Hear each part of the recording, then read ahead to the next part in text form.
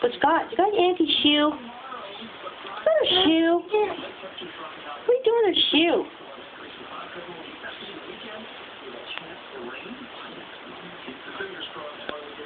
Do not put it in your mouth. No, don't put it in your mouth. Ugh, don't put it in your mouth. Don't lick it.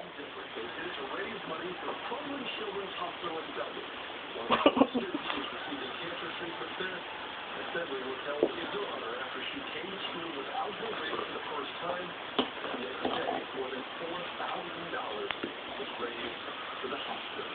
What a cool story. Day not for her. Every day you want to play.